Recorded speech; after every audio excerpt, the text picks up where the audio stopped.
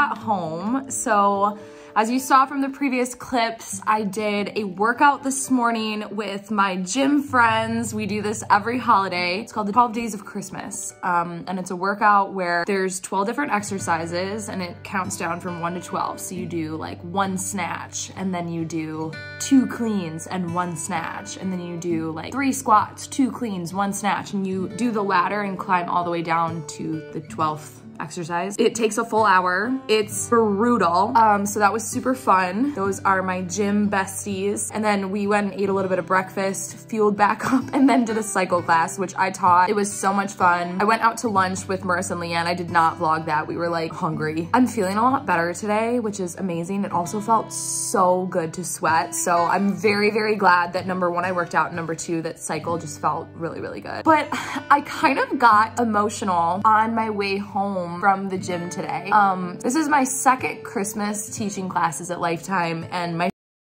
it was a year in. I feel like I just started to like meet people and meet members. This year was just like super special for some reason. I started out working here with literally just one cycle class on the schedule. It was just a Monday night AMP cycle class and I look back at that person and I thought that person was like so grown. I thought that person felt inspired. I wish that I could tell her how good it would get. this is so embarrassing. This is my second year doing Vlogmas and I'm already becoming like a crying YouTuber. You know, so much has happened this year. Like so much growth has happened in my nine to five job. So much growth has happened in my lifetime job. So much growth has happened with things that I do with Elizabeth. For the first time in a really long time, I just feel genuinely proud of myself. It feels like I've accomplished a lot this year and I feel a lot of love around me in life. I feel a lot of opportunity coming in the next year. Like things are just, things are good.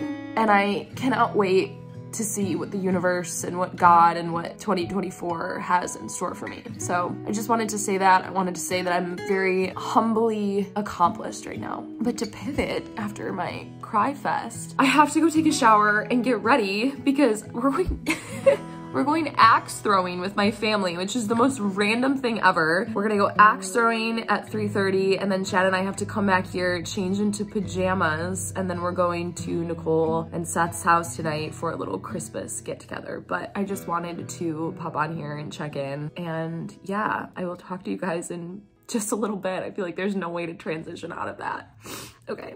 We're back again. Back like we never left. All right, that was really embarrassing if I included the clip of me crying because now we're now we're back to biz. So I just showered, washed my face, put my hair in a little slicked pony, putting on a little makeup. Chad and I are gonna go axe throwing my family in just a little bit. I want to leave here in like probably the next 15 minutes. Let's see if I can get things done. What are you laughing? This is recording.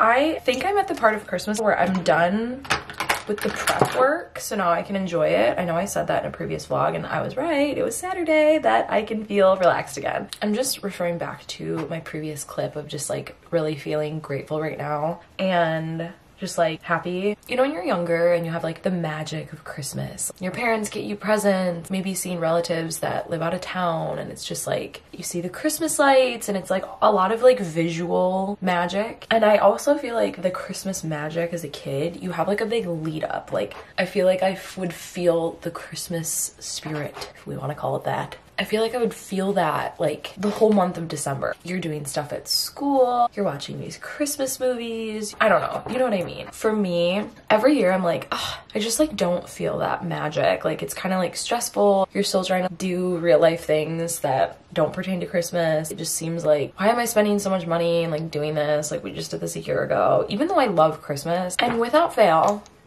it always happens like a couple days leading up to the actual holiday is when I finally feel like that Christmas feeling. And I'm like excited to give my gifts and like excited to see family and like I don't even do anything that extravagant for Christmas. Okay, I'm pretty much done. I just have to add highlighter and mascara. Okay. Couple curls and then we're out the door.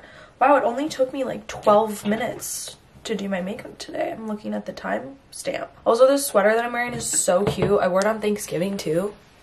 It's like this.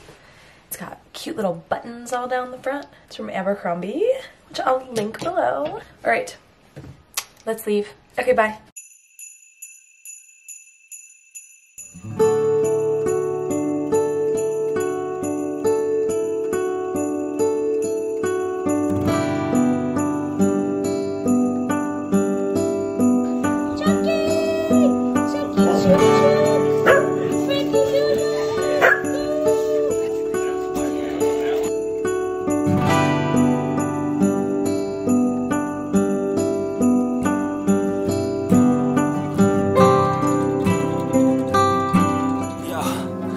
Like an addict, do I gotta have it? I ain't even playing, got a really bad habit. If it moves, gotta grab it. Fuse like a magnet, lose, won't have it Till I'm doomed in a casket